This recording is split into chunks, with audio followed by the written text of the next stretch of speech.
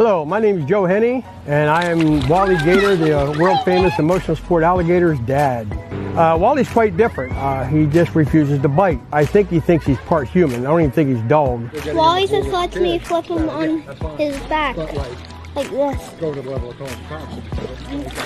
Wow. Hold on. Yeah, Emmy uh, is uh, Wally's best friend, I'd say, because he follows her around like a puppy dog. Uh, she flips him up on her back, on his back and stuff as they're in the pool swimming around, just having a good time. And then she actually helps educate the other children. His teeth are, and he has like a little place where his little tooth goes right here. Yeah.